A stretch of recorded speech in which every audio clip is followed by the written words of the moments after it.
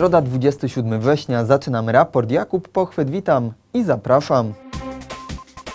Bohaterowie z kawu Karydultowy uratowali w Pradze tonącego czeskiego aktora.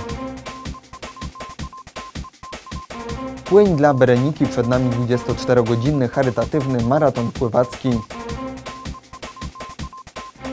Za nami 10-dniowy Wodzisławski Oktoberfest.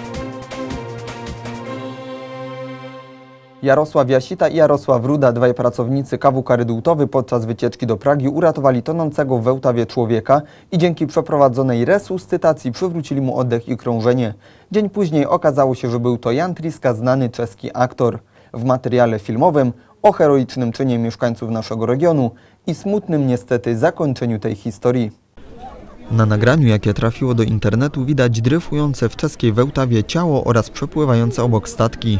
Pomocy tonącemu człowiekowi udzielili dopiero dwaj inżynierowie górniczy z kopalni Rydultowy. Wszystko miało miejsce podczas minionego weekendu, kiedy to Jarosław Ruda i Jarosław Jasita przebywali na wycieczce w Pradze, a jednym z jej elementów był rejs rzeką. Pomimo oporów ze strony załogi statku, śmiałkowie skoczyli do Wełtawy na pomoc tonącemu. Po podholowaniu go w- wzięliśmy go po prostu na pokład. E, Jedna e, z osób z obsługi pomogła nam go wciągnąć, bo myśmy z wody go wydostawali, a jedna osoba z pokładu wciągnęła go na pokład. No i od razu zacząłem masaż serca. Ja po kilku e, pompnięciach, że tak powiem, jego po kilku seriach, 30-krotnie uciskając go, dostałem od obsługi nie maseczkę do sztucznego dychania, tylko jakiś ręcznik, żeby na usta przyłożyć, e, żeby, żeby wykonać mu sztuczne oddychanie. Po kilku minutach reanimacji u wyciągniętego z wody człowieka udało się przywrócić funkcje życiowe. Weszła pani doktor z, nie wiem, może też z lekarzem czy z pielęgniarzem, a zobaczyła tego pana, e, popatrzyła się na nas i pokazała kciuk do góry, powiedziała dobra robota, nie? E, No myśmy wtedy byli cały, cali w euforii. Po udanej akcji e, przybiliśmy sobie piątkę z uciechą, e, że tak powiem z radością na twarzy, z wielkim uśmiechem, także byliśmy na ten moment bardzo dumni z siebie. Dzień później okazało się, że ratowanym człowiekiem był Jan Triska, urodzony w 1936 roku aktor, który od lat 60. ubiegłego wieku grał w licznych hollywoodzkich produkcjach. Czujecie się bohaterami? Nie, nie, myślę, że tak powinien zrobić każdy człowiek. Niestety w poniedziałek czeskie media poinformowały, że 81-letni aktor zmarł w szpitalu. Z tego miejsca, no już w tej chwili wiedząc jak sprawa się zakończyła, chciałem oczywiście osobiście razem z kolegą Jarkiem złożyć e, wyrazy współczucia do rodziny i do, do najbliższych pana Jana. I choć cała historia kończy się tragicznie, to dwóm bohaterom z kawu Karydultowe należą się ogromne słowa uznania za to, że nie zważając na swoje zdrowie i życie ruszyli na pomoc obcemu człowiekowi.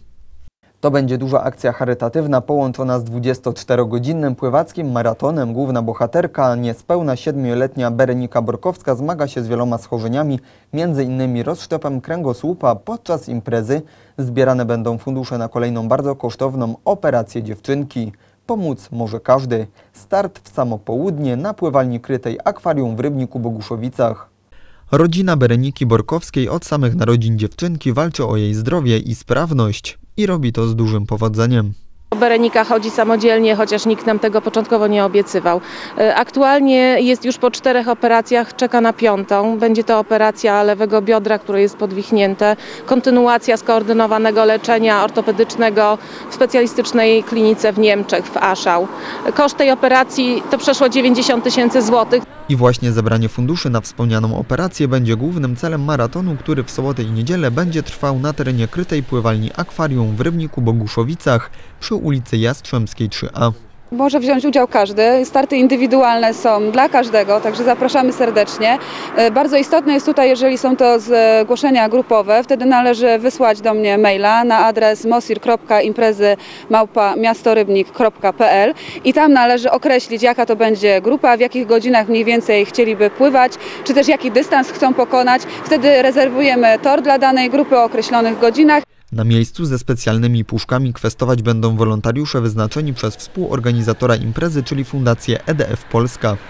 Wystarczy 5 zł, natomiast oczywiście zachęcamy także do większych datków.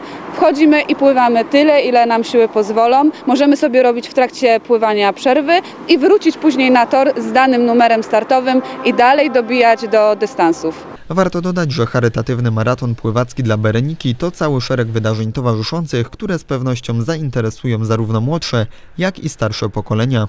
Będzie e, angielski w wodzie, będzie nauka pływania dla dzieci, dla szkrabów od trzeciego miesiąca życia już, będzie aquaerobik dla pań, będzie możliwość pomiaru składu ciała, bo my chcemy promować też przy okazji tej imprezy zdrowy tryb życia, zdrowe odżywianie.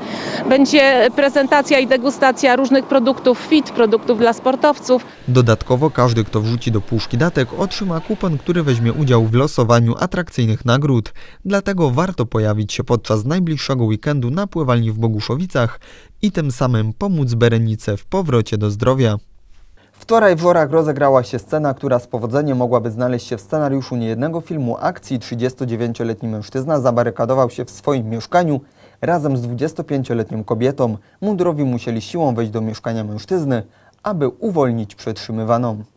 Całe zdarzenie miało miejsce wczoraj około południa na ulicy Kolejowej. Przybyli na miejsce policjanci za zamkniętych drzwi usłyszeli płacz kobiety i jej prośby o uwolnienie. 39-latek groził, że jeśli policja wejdzie siłą do mieszkania, to zabije kobietę nożem. W czasie, gdy jeden z mundurowych rozmawiał z zabarykadowanym w mieszkaniu mężczyzną, na miejsce przyjechały policyjne posiłki. 39-latek po kilkunastu minutach wypuścił 25-latkę, po czym funkcjonariusze siłą weszli do mieszkania, gdzie obezwładnili porywacza. Przetrzymywanej kobiecie nic się nie stało, a 39-latek trafił do aresztu. Za bezprawne pozbawienie wolności swojej partnerki grozi mu do 5 lat pozbawienia wolności.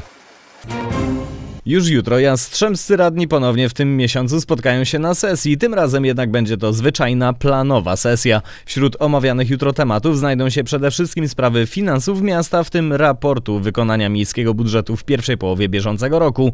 Jutro również głosowaniu poddana zostanie uchwała, według której miasto przekaże 50 tysięcy złotych dla poszkodowanej w wyniku wichur w województwie pomorskim gminy Szubin. W Jastrzębskim Wojewódzkim Szpitalu Specjalistycznym nr 2 zakończył się organizowany wraz z Miejską Biblioteką i Miejskim Ośrodkiem Kultury projekt pod nazwą Jastrzębskie Prezentacje Artystyczne. Szpital jako jedna z placówek prezentowała w jego ramach obrazy autorstwa młodych artystów biorących udział w tegorocznych miejskich derbach artystycznych. W ramach tych inicjatyw organizowane były warsztaty, spotkania z twórcami, wystawy malarstwa i fotografii, a także konkurs filmowy City Film Independent.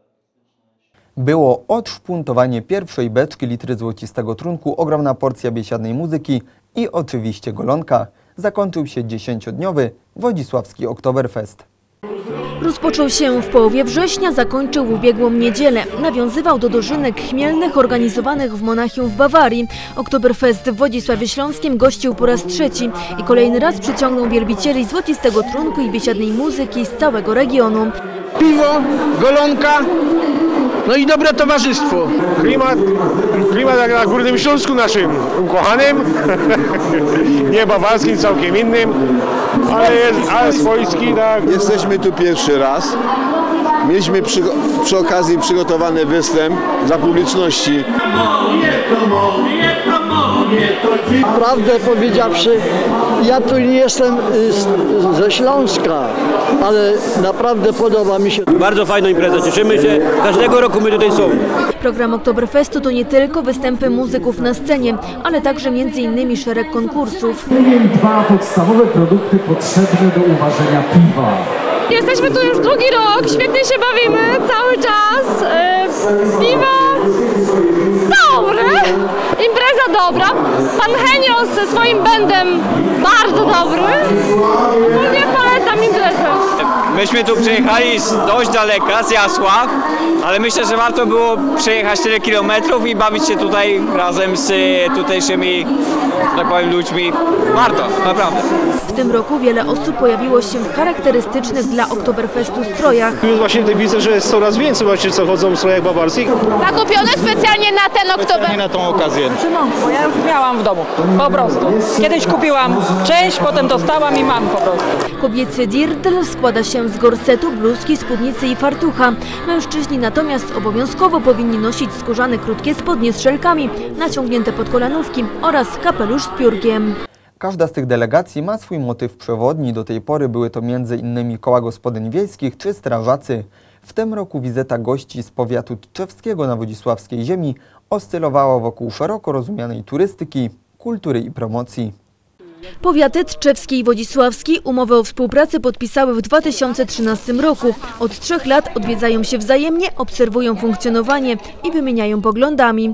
Podoba nam się jako przedstawicielom powiatu trzewskiego to, jak w powiecie współpracują ze sobą gminy, e, z powiatem i między sobą. Jest to takie budujące, bo e, rzeczywiście w naszym powiecie gminy raczej samodzielnie prowadzą swoją politykę, u Was pewnie też, ale przy tego typu e, okazjach jest ta więź, która jest widoczna, e, namacalna i, i tego Wam zazdrościmy. Bardzo jesteśmy zadowoleni. Wysyłamy SMS-y do domów naszych do, na Pomorze, że jesteśmy po królewsku traktowani.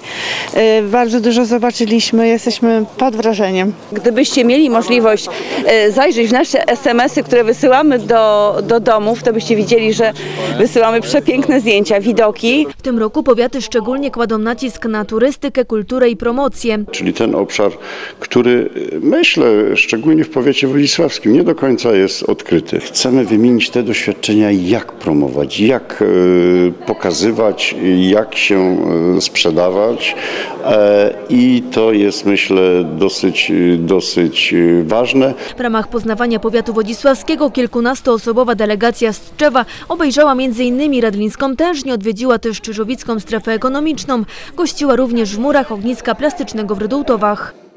W dzisiejszym serwisie to już wszystko. Dziękuję za uwagę i do zobaczenia.